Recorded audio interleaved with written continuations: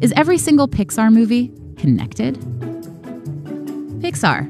Movie after movie, hit after hit. Each time, a brilliant story, beloved characters, gorgeous animation. But what if every film has even more in common? Every film from 1995 to 2013, to be exact. Because it's all connected. It all starts in the Dark Ages with Brave. This is where we learn why animals in the Pixar universe have human characteristics.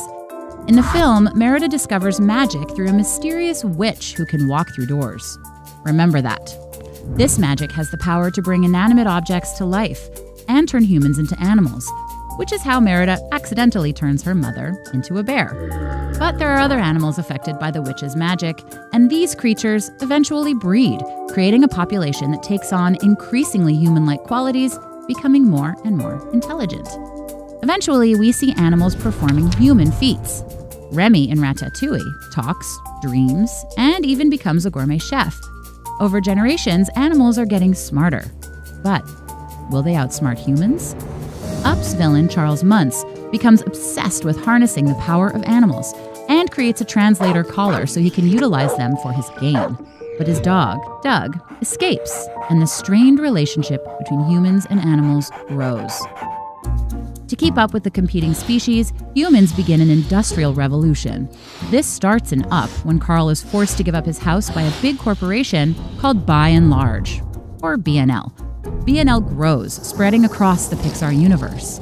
Notice in Toy Story 3 that Buzz Lightyear's batteries are BNL. In WALL-E, we see BNL in its full-blown glory, a corporation that has grown to control world governments. But while the humans were trying to outsmart the animals, technology outsmarted the humans. In The Incredibles, technology is harnessed by Syndrome to create a genocide against humans with superpowers.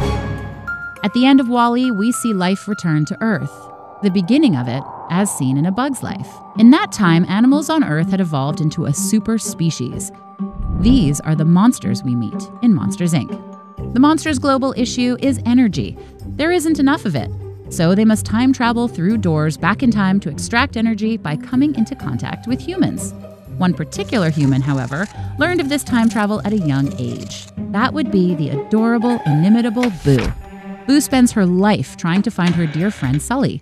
Remembering that they time traveled through doors, she eventually grows up to become the witch from Brave. As the witch, she walks through doors, traveling back and forth through time thanks to the magic harvested in that land, searching for her friend. How do we know she's looking for Sully? In her workshop, you'll see a wood carving of him. Boo and Sully, a friendship that spans the Pixar universe. What do you think?